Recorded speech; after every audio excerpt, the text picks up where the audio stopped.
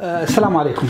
آه، حلقتنا اليوم هي استجابة لاقتراحات بعض المتابعين بتخصيص حلقة عن كيفية تصميم أو عملية تنفيذ الأدرج كيف تكون. لما يكون عندي دولاب في المطبخ أو قطعة أثاث آه، كيف أستطيع أني آخذ المقاسات الصحيحة لعملية تركيب الأدرج. الت- التقنيات الموجودة؟ وش المفصلات الم- المجاري اللي إحنا نستخدمها في عملية تركيب الأدرج؟ كل هذا بحاول أغطيه اليوم آه، بشكل بسيط وبحيث إني أحاول يعني قدر الإمكان أعطيكم زي ما يقولون الزبدة في في هالعملية كلها بدون تعقيدات فنية بدون شروحات يعني لجوانب فنية. فالحلقات هذه بتكون في الجزء الأغلب منها نظري لين نوصل لمرحلة اللي هو تنفيذ الدرج ومن ثم تركيبه بإذن الله. النقطة الأولى خلونا نتفق إنه الدرج بيركب في في صندوق. يعني ايا كانت قطعة الأثاث اللي بيركب فيها الأدرج أنت لو تتخيلها بتلاحظ إنها هي عبارة عن صندوق. يعني في الغالب آه، أربعة أضلع زي الشكل هذا واحد اثنين ثلاثة أربعة. وفي الخلف يكون فيه الخلفية مسكرتها وبيكون مكان مفتوح اللي بتركب فيه الأدرج. فهذه النقطة المهمة سواء أيا كانت الأدرج تركب في أي مكان سواء سواء قطعة أثاث فنية فاخرة أو دولاب في المطبخ هذا الشيء لابد انه يكون موجود اللي هو الصندوق اللي بتركب فيه الأدرج. فأول نقطة لازم أتأكد منها قبل ما أبدأ في أخذ المقاسات الأدرج اللي نحتاجها لابد أني أتأكد أن المكان اللي بتركب فيه الأدرج متعامد بشكل صحيح بحيث انه يكون الجميع الزوايا الأربع هذه درجة 90 وفي يعني أكثر من طريقة آه، نقدر نعرف الشيء هذا فيها أسهل طريقة اللي هي إنك تأخذ المقاس من هنا من الزاوية هذه للزاويه المقابلة لها وتأخذ المقاس من الزاوية هذه للزاوية هذه المقابلة لها. إذا كانوا الرقمين يعني متطابقين أو فيهم فرق بسيط جدا يعني خلينا نقول آه، يعني نص ملي أو في هالحدود فوضعك آه، في السليم تستطيع إنك تبدأ في المرحلة اللي بعدها. لو كانت لا الفروقات كبيرة يعني ممكن توصل إلى 2 ملي و3 ملي لا فأنت محتاج إنك تضبط الصندوق بحيث إنه يكون يعني آه، يرجع لنفس الأرقام اللي قلنا تكون متطابقة. وطبعا هذا الشيء تسويه أول ما تبدأ تركب الصندوق الرئيسي أو الدولاب الرئيسي حقك. يعني في في مرحلة الغراء بيكون عليك سهل لكن لما يكون ال- الدرج انت منفذة من من زمان واكتشفت فيه مثل هذا العيب بيصعب عليك إنك تعدله لأن خلاص الغرا وال- والبراغي أصبحت ماسكة في الخشب بيصعب عليك إنك تسوي عملية ال- التعديل هذه. بعد ما أتأكد إنه ال- ال- المكان اللي أنا بركب فيه الأدرج حقتي آه، متعامد أنتقل للمرحلة اللي بعدها وهذه المرحلة لابد قبل ما أبدأ فيها أنا أجاوب على سؤالين مهمين أو سؤال واحد له إجابتين مختلفتين. الدرج اللي أنا بركبه أو الدولاب حقي هذا وين مكانه؟ هل هو قطعة أثاث فاخرة اللي توضع في المجالس أو في غرف النوم مثل الشوفانيرة ولا هو آه، درج آه، بيتركب في المطبخ أو في مستودع تخزين أو في غرفة ملابس أو في الله يعزكم دورة مياه التصنيفين هذه تختلف بكل شيء بيجي من بعدها يعني الجواب إذا قلنا قطعه أثاث عملية تركيب ال- أجزاء الأدرج مع بعضها تختلف آه، عن الد- الدولاب اللي بيكون في المطبخ. آه، السمكات تختلف. يعني في في أشياء كثيرة بتترتب على هذا على هذا السؤال. وأنا أثناء الشرح بوضح لكم لو كان لو كنا في خلينا نقول يعني بن عشان آه، نتفق على شيء إذا قلنا في المطبخ فهذا الدولاب اللي هو بيركب في المطبخ أو في دورة المياه أو في غرف التخزين اللي هو الهدف منه التخزين الهدف منه هو استخدام الأدرج في عملية التخزين أو في وضع أشياء إحنا دائما يعني نرجع لها. لكن لو قلنا قطعة أثاث اللي بتكون موجودة في مجلس أو في في غرفة نوم آه، يعني يمكن غرفة النوم تكون أقرب للمطبخ في قضية كثرة الاستخدام لكن يمكن تلاحظون قطع الأثاث اللي تكون في المجالس في الصالات في الغالب الأدرج اللي فيها يعني هي جزء جمالي أكثر منها إنها تستخدم نضع فيها أوراق ونضع فيها يعني مستلزمات للبيت نرجع لها. فهذه هذا اللي بيخلي فيه فروقات في عملية التنفيذ. فلما أتأكد أنه الجزء عندي متعامد من كل الزوايا تيجي عندي قضية المساحة اللي بتركب فيها الدرج. لما نتكلم عن هذه الجزئية الآن أنا بإمكاني انه يكون فيها كلها أدرج وممكن يكون نصها أدرج وفيها آه، باب آه، بيكون في عملية تخزين في برف قابل للحركة أو بيكون كلها بابين يعني كلها واردة وأنتم هذه دائما تشوفونها في المطابخ. لكن إحنا بنتكلم على أن الجزء اللي عندنا هذا كله بنحط فيه أدرج. النقطة اللي بعدها الآن آه، اللي هي عملية آه، أخذ المقاسات. آه، في عندي آه، يعني ثلاث مقاسات أنا أحتاجها اللي هي الارتفاع والعمق والعرض. هذه الأشياء أنا لازم أخذها لكن كل واحد من المقاسات هذا نحتاج نسوي فيه في بعض الأمور. أول شيء لما بنجي ناخذ الارتفاع الهدف منه إنه يعطيني أو يخليني أقرر كم درج أبغى أركب. فالأدرج هذه لابد أنا عشان أحددها آخذ المقاس. فإحنا لو بناخذ المقاس اللي عندنا هذا تقريبا آه آه 510 ملي قابلها بالإنش 20 إنش تقريبا. هذا مقاس الارتفاع اللي عندي الآن. قلت لكم في البداية أنا أحتاج في الارتفاع هذا عشان يحتاج أعرف كم أبغى أركب درج. أنا سبق إني يعني قستها وقررت إني بخلي ارتفاع الدرج حقي خمسة ونص تقريبا. نعم. خمسة ونص انش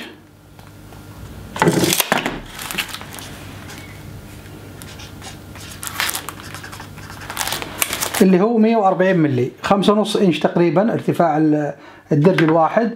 اللي هو بيوازي اللي بيعطيني تقريبا 140 ملي لو بقسم هذا على هذا بيخليني طبعا أنا عشان أقيس ليش أنا وصلت للرقم هذا يعني أنت تقدر تخلي لما تبي تقسم الأدرج تقدر تخلي مثلا عندك أدرج خلينا نقول لو المساحة هذه بتخليها واحد كبير مرة وواحد وسط وواحد أصغر أو تبي تخلي اثنين صغار واثنين وسط فأنت حسب احتياجاتك عموما. فأما أنك تقسمها كلها بشكل متساوي أو أنك مختلف حسب الاحتياج اللي أنت تحتاجه. فأنا بالنسبة لي بيكون عندي ارتفاع الواحد 140 ملم أو اللي هو 14 سنتي. مقسمة على الثلاثة وتركت بين كل واحد وواحد تقريبا ثلاثة ملي. وهذه المساحة مهمة جدا عشان تعطيني مرونة في عملية التركيب. لو صار عندي خطأ في حساباتي ما أكون أنا يعني الأدرج راكبة على بعض وتصير فيها احتكاكات. فهذه المسافة موجودة بين كل درج وآخر وبين الدرج الأول والقاعدة وبين الدرج العلوي والجزء العلوي حق الصندوق حقي. فهذا المقاس هذا بيخليني أسوي ثلاث أدرج زائد درج إضافي صغير تقريبا آه اثنين آه اثنين ملي. يعني هو تقريبا يمكن آه خمسة سنتي أو اللي هو خلينا نقول خمسين ملي. فهذه نبي نشوفها الآن. فلكن أنا في البداية الأولى الارتفاع هذا هو اللي خلاني أعرف كم أنا أقدر أسوي من درج في هذا الجزء وهذا الجزء. النقطة اللي بعدها الآن بعد ما خلصت الارتفاع أجي الآن أقيس العرض والعمق. وهذا بيحدد لي أيضا أشياء أخرى. وخلونا نبدأ بالعمق أول شيء اللي هو المسافة إلى الداخل. أنا العمق عندي تقريبا 545 ملم اللي هو يوازي 21 ونص إنش. وهذا اللي بيحدد لي زي ما قلت لكم عمق الدرج. هذا لو متخيل إن هذا الجوانب يمين ويسار للدرج فهذه المسافة هي اللي بتكون هنا. يمين ويسار وبعدين بيكون عندنا واحد في الأمام وواحد في الخلف اللي هو غطى الدرج. فخلونا نتكلم عن العمق. أول نقطة عشان أيضا زي ما قلت لكم أعطي نفسي مرونة لازم أنقص من الخلف نص إنش. يعني أستبعدها من الحسبة حقتي عشان يكون عندي لما أركب الدرج بشكل النهائي بيكون في مسافة بينه وبين الغطاء الخلفي للصندوق. فبرجع أقول هنا بدل 21 ونص بيكون عندي المسافة 21 طيب الآن ال 21 هذه أيضا لازم في حسبة معينة لازم أحسبها اللي هي وش هي؟ الدرج حقي بيكون عبارة عن أربع أضلع وفيه القاعدة من الأسفل. لكن في عندي نقطة مهمة بعد ما أركب الدرج لو تخيلنا الدرج بالشكل هذا وهذا راكب هنا. عادة إحنا نركب غطاء للدرج خارجي فوق فوق فوق القطعة هذه لأنه هو اللي بيكون عليه ال finishing هو اللي بيكون ممكن يكون من الخشب الطبيعي ممكن يكون من خشب ملبس بقشرة الخشب الطبيعي. فبالتالي هذا الصندوق أنا أسويه ممكن من ال MDF أو من ال MDF الملبس بال melamine لما أكون قاعد أشتغل على المطابخ وممكن أيضا يكون من الخشب الطبيعي لما أكون أنا قاعد أشتغل في قطعة أثاث اللي توضع في المجالس اللي هي الدواليب الفخمة. لذلك بالنسبة للعمق لابد أيضا أقرر شيء قبل ما أبدأ في أخذ مقاساتي، كيف بيكون شكل الغطاء حق الدرج؟ عندنا ثلاثة طرق لغطاء الدرج، الطريقة الأولى إنه يكون الغطاء داخل جوا الفريم حقي بيكون بيكون بالشكل هذا. بيكون داخل يعني لما أغطي الصندوق ما يكون فيه ولا جزء خارجي داخل. فبيكون الغطاء عندي موجود وبعدها القطعة هذه اللي هي المقدمة حقت الصندوق وطبعا أجزاء الصندوق. فهذه لها حسبة. ليه؟ لأنه أنا لازم أيضا أنقص من العمق اللي أنا شلت منه نص إنش مق... الآن أنقص منه زيادة سماكة الغطاء حقي. فكم الغطاء حقي لو كان نص انش معناه لازم أغطي نص انش ليش لأنه هذا شيء طبيعي لأنه هذا الصندوق أو الغطاء هذا بيدخل جوا فبالتالي لازم ينقص الصندوق من من من عمقه بنفس السماكة حقته الشكل الثاني اللي ممكن أنا أحط الصندوق شكل الصندوق فيه أو شكل الغطاء فيه هم نوعين كلهم يعني لهم نفس الحسبة. النوع الأول إنه يكون غطاء الصندوق مغطي كامل الفريم هذا حقي بالشكل هذا. يعني هنا مغطي وطبعا هنا بيكون واصل طبعا هنا لأنه فيه بيكون في درجين بيكون هنا إلى النص.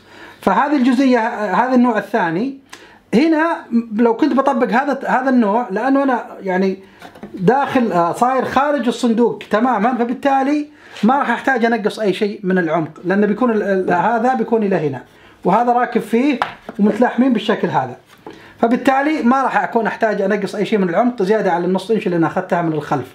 النوع الثاني أو الشكل الثاني إنه يكون نفس هذا في الخارجي لكنه يغطي نص نص الجزء الجانبي من هنا ومن هنا علشان يركب آه، من الجهتين أنا اليوم ابى اركبه لا يعني ما هو خارجي ابى اركبه داخلي بحيث إنه يكون في محاذاة الجزء الخارجي بالشكل هذا لذلك أحتاج انقص من ال 21 أيضا سماكة الغطاء الخارجي اللي بيكون موجود هنا. وهذا هو نفسه تقريبا السماكة اللي هي أيضا نص آه، نص إنش. نعم نص إنش. لذلك 21 نقص منها نص إنش بيصير عندي 20 ونص. اذا عمق الأدرج حقتي لما أجي أجي يعني أقص الجوانب أعرف إن العمق عندي بيكون 20 ونص. وهذه هذا رقم مهم جدا. أحتاجه. بعدين أجي ألتفت للعرض. نجي للجزء الأخير اللي هو عرض الصندوق. كم بيكون؟ العرض من هنا لهنا. طبعا أنا هنا أتكلم عن العرض أو المساحة اللي أقدر أحط فيها صندوق بعدين المقاسات حقت القص أيضا بنتكلم عنها لاحقا. لكن زي ما قلت لكم المسافة حقتي من هنا إلى هنا 290 ملم أو هي 11 3 على 8 إنش تقريبا. طيب الآن هل أستطيع أقول إن هذا هو العرض حقي؟ لا. لازم أيضا أجاوب على كذا سؤال. النقطة الأولى في بعض المطابخ يكون ال frame أو الدرج حقي هذا ملبس ب frame من خشب الطبيعي بيكون الشكل هذا بيكون راكب عليه بالشكل هذا. هذا لو لو كان في frame ملبس هنا الحسبة تختلف عن لو ما كان في frame. ليش؟ لأنه الآن لو نفترض إن هذا هو المجرى أو هذا اللي بركب فيه القطعة اللي بتركب على الأدرج عشان يدخل ويطلع. لما يكون هنا ما في frame بيكون هذه القطعة راكبة هنا وتطلع وتدخل بشكل طبيعي. لكن لما يكون في frame لا القطعة هذه ما راح تقدر تدخل لأن هذا بيدقر لها إيش معناها معناها لازم أسوي قطعة داخلية بنفس المسافة الزايدة اللي هنا على أساس هذه لما تركب يكون ما في شيء يدقر لها أو في شيء يمنع آه، سهولة حركتها. فهذه النقطة الأولى اللي لازم أعرفها هل في frame؟ وإذا كان في frame كم المسافة الداخلية اللي هنا داخل الصندوق من هنا عشان أعرف إني بركب عليها قطعة خشب وبعدين هذه القطعة بتركب عليها القطعة هذه يعني هذه تبي تصير كأنها راكبة على هذه مباشرة. الآن أنا في ال case حقتي أو الحالة اللي بنسويها إحنا الآن هنا مع بعض ما في أي frame لأن هذا الدولاب أنا قاعد أستخدمه في الورشة فما راح أحط عليه يعني frame وزيادة عمل يعني وزيادة قطع خشب. آه فبيكون المجرى راكب مباشرة على القطعة هذه، اذا ما راح أضيف أي شيء، لكن السؤال اللي بعده وش نوع المجرى اللي بيركب؟ كيف بتكون عملية حركة الأدرج في الصندوق حقي؟ إحنا عندنا يعني في السوق أشكال كثيرة من المجاري. هذه أش...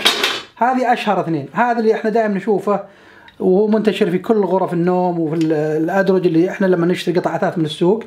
وهذا جديد يعتبر أقوى من هذا وفيه ميزة إنه يعني يسحب لك الصندوق إلى آه إلى خا... إلى كامل مسافته إلى خارج الجزء هذا. وفي أنواع كثيرة. في من في نوع مثلا شبيه بهذا لكنه لما تدف الصندوق لما يوصل للأخير يبدأ عملية الإغلاق بطيئة بحيث إنه ما يكون فيه الصبخة هذه اللي دائما إحنا نسمعها لما الواحد يصك الصندوق أو الدرج بقوة.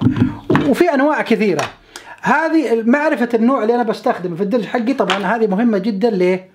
لأنه أول شيء أثناء عملية الشغل على الصندوق أحتاج بعضها بعض الأنواع أحتاج أسوي لها تثبيت بطريقة معينة من تحت يعني في أنواع كثيرة لكن إحنا بناخذها على على النوع الأشهر اللي هو هذا اللي هو يركب من الجنب. مهم جدا إني أحدد مسبقا وش بستخدم لو بناخذ مثلا النوعين هذه الفرق بينهم اللي هي السماكة. السماكة هذه غير السماكة هذه، هذه تقريبا 12 ملي وهذه تقريبا 8 ملي. وهذا بيفرق لأنه هذا بيصير هنا موجود واحد وهنا بيوجد بيكون موجود واحد. وش معناها؟ بيكون عندي 12 ملي 12 ملي معناها عرض الدرج الصافي اللي أنا أقدر أشتغل عليه بيكون المسافه هذه ناقصة سماكة المجرى من اليمين واليسار اللي هي 12 ملي 12 ملي 24 ملي. لذلك أنا لازم أعرف وش النوع. لذلك لما أجي أقول إن هذه اللي بستخدمها وبستخدم ثنتين وبقول 12 ملي و12 ملي معناها عندي لازم انقص 24 ملي. عفوا 24 ملي. طيب هذه 290 هذه بتصير 10 هذه 6 وهذه 8 بتصير 6 أيضا وهذه بتصير 1 يعني تقريبا عرض الصندوق الصافي اللي أنا أقدر أشتغل عليه اللي هو 166 ملي اللي هي وش عبارة عن إيش؟ 190 عفوا 290 اللي هي العرض الكامل اللي هنا ناقص سماكة المجرى اللي بستخدمها. ضارب اثنين لأن هذا واحد يمين وواحد يسار. فقلنا 12 ملي و12 ملي 24 و24 شلناها من 290 المفروض إنها تطلع 166 عفوا هي 266 فهذا هو العرض العرض الصافي للدرج حقي 266 ملم هذه الآن شكل المقاسات النهائية حقتي اللي أنا بشتغل عليها. أول شيء العمق هو قلنا 520 أو 20 ونص إنش. عبارة عن إيش؟ كامل العمق اللي عندي ناقص نص إنش من الخلف. احتياطي أتركه. ناقص سماكة غطاء الصندوق اللي بيكون موجود في الأمام. لأن أنا اخترت طريقة الغطاء الصندوق إنه بيكون داخلي وليس خارجي. فهذه لما أطرح الرقمين هذه بيطلع عندي هذا الصافي اللي هو 520 ملم العرض حقي هو 266 أو 10 ونص إنش تقريبا. وش يساوي؟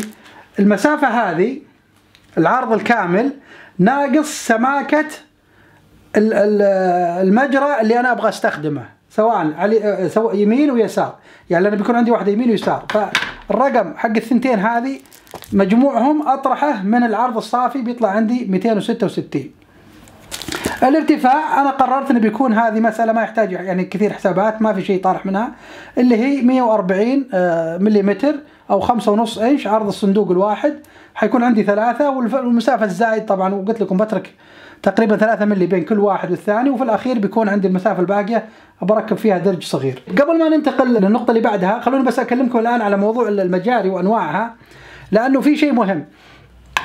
لو كان الدرج الدولاب اللي أنا قاعد أشتغل عليه أو قطعة الأثاث بتكون يعني مكانها في في المجلس أو يعني هي قطعة ديكورية أكثر منها يعني استخداما في الغالب أنا ما أحتاج أستخدم لها مثل هذه المجاري لأن هذه بتشوه منظرها لما ينفتح في الدرج. أغلب الناس يستخدمون طريقتين، إما ان يخلي الدرج يعني يحط قطعة خشب قاعدة لها بحيث إنه يعني هنا لما بيكون في ثلاث ادرج بيكون هنا في قطعة وهنا في قطعة وتحت قطعة بحيث إن الدرج يمشي على الخشب نفسه.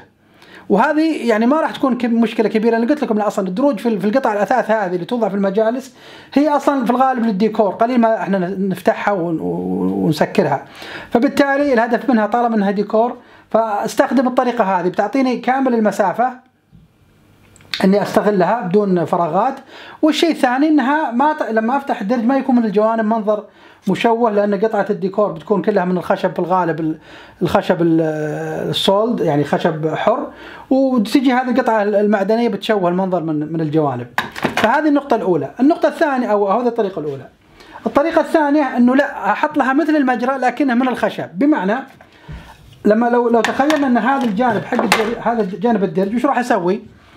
أجيب هنا قطعة نفس تقريبا سماكة هذه أو أصغر من الخشب أركبها هنا وأسوي لها مجرى في نفس قطع الخشب حقتي بحيث إنها تركب عليها وتمشي من خلالها بحيث يكون زي المجرى حقها ما تتحرك فلا هي وهذه الميزة إنه ما راح أحتاج قاعدة سفلية ينام عليها الدرج لأنه هذه شايلة الدرج من اليمين واليسار وهذه أيضا بتكون شكلها جميل لانها هي أيضا من الخشب فخشب مع خشب بتكون تطعيمة واحدة ما يكون فيها خلاف آه، في في في, في المنظر.